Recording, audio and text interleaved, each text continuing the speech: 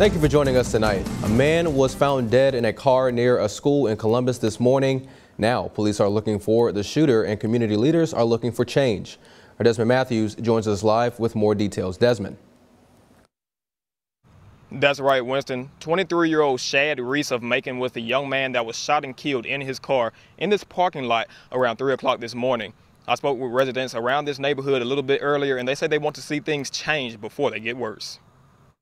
Shortly before 3 a.m. Monday, Columbus police received a call about a black male sitting in a car in the parking lot across from Union Academy. When officers arrived, they found the car's windows had been shot out and 23-year-old Shad Reese was dead, the seventh homicide in Columbus this year. District 41 State Representative Kabir Karriem says some action has been taken to prevent crime, but there needs to clean up those uh, high crime areas uh, that are so prevalent.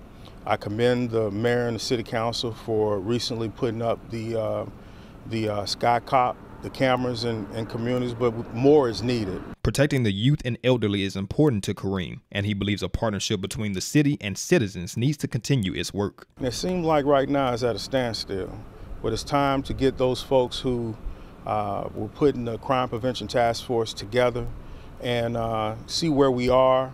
Let's update it uh, and, and, and let's do something about it. Columbus Police Chief Fred Shelton says his department continues its push for engaging and protecting the community. Some crimes will be able to pre prevent, and then some the other ones were, you know, we, was domestic type situations. So again, then we can't predict. The other ones is we just can increase our patrol and continue to use tools that we that we've been using to make our city better and again, developing that trust and relationship with the citizens. Shelton encourages anyone that may know something to not let fear get in the way of reporting it. We do encourage people to find non traditional ways. I know people may be leery about making that phone call, but again, use the P3 app. It's completely anonymous. We need the information. Now, if anyone has any information or video that can help lead to an arrest, you're encouraged to call Golden Triangle Crime Stoppers or the police department. Reporting live in Columbus, Desmond Matthews, WCBI News.